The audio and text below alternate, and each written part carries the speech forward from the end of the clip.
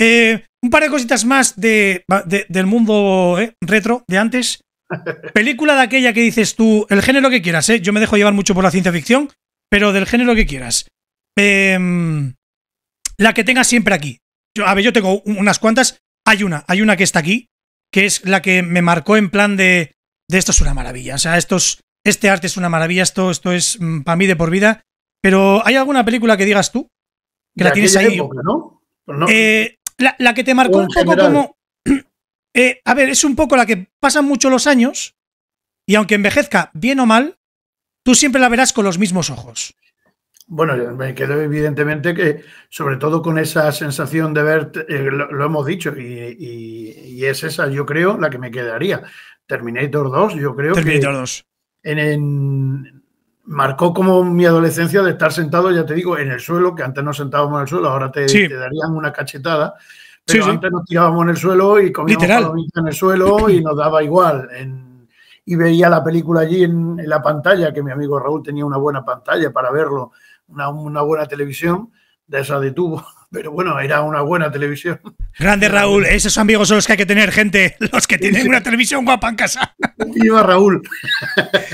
Grande Raúl, un abrazo y un beso desde aquí, Raúl, me cago en todo. Entonces, claro, estar sentados allí en el suelo viendo a Terminator tan cerquita, eh, bueno, eso me, marcó. A nivel general, a día de hoy, eh, yo me quedo con mi película preferida con muchísima diferencia, porque creo que lo tiene todo y lo engloba todo, es bastante actual y es Interestelar. Interestelar. Hay mucha gente que le marcó esa película. Yo le tengo un especial cariño enorme, que siempre lo he dicho y siempre lo diré, a los Goonies. Es ah, brutal. Ah, mira. O los Gremlins. Sí, sí, sí, sí. Bueno, yo creo que también lo que hacía de Spielberg casi que me daba igual. O sea, las veía todas y, claro, ver por primera vez que eras un chavea ET, pues evidentemente te, haría llorar fijo, seguro. Ahora a lo mejor. De todo. Pasas por todo. Pasas por. Vamos, serio, vamos, ET. Eh, los del FBI son malos, son los peores personas del mundo, son los del FBI, me cago. O sea, era, era todo ese rollo. Es, eh, de aquella era pasar por todos y cada uno de los momentos, afloraban todos los sentimientos. ¿Que, que estás huyendo? Sí. La, corre, la angustia, tal, no sé qué. Que ET se está poniendo pálido y la cosa está mal. Es como, no la quiero ver. Mamá, qué disgusto tengo. Mira que llorera, no sé qué, se recupera, no sé qué.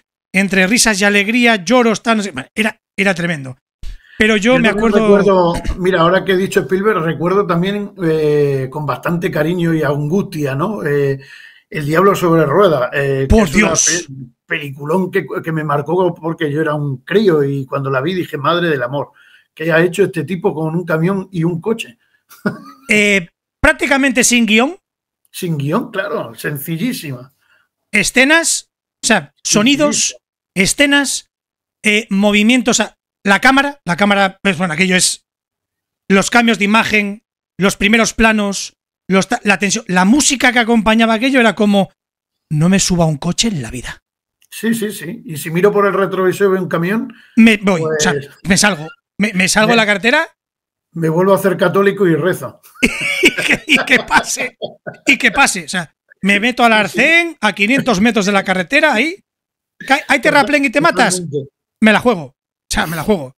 Sí, sí, ¿Cómo, Era, ¿Cómo era título original? Maximus Overdrive, ¿puede ser? Algo así. Me gusta, pero a mí me gusta el, doble que le hicieron aquí, ¿no? El Diablo sobre Ruedas. El Diablo sobre Ruedas. Un titulazo tremendo. increíble, increíble. O sea, ya te digo increíble, pero, pero brutal, o sea, sin lugar a dudas.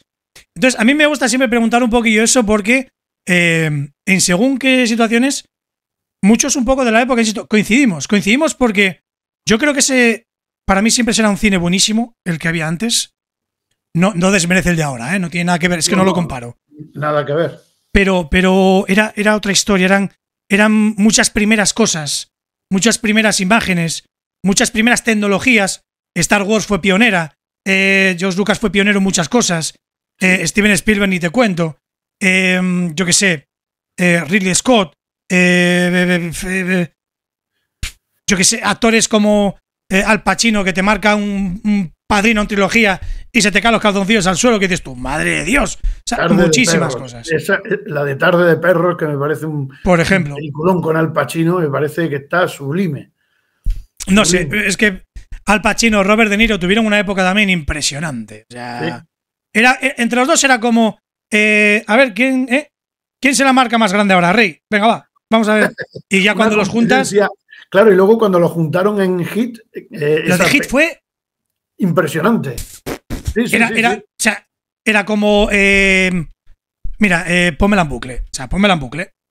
Pónmela en bucle, un bucle, una tarde y... y, una bombilla, por cierto. No te preocupes. Fallos de directo, gente, estamos en directo. Bueno, estamos en directo. Tengo un espíritu por aquí dando vueltas y habrá una sorpresa. ¿Quién sabe? Nada, esto, esto es la magia del directo, gente.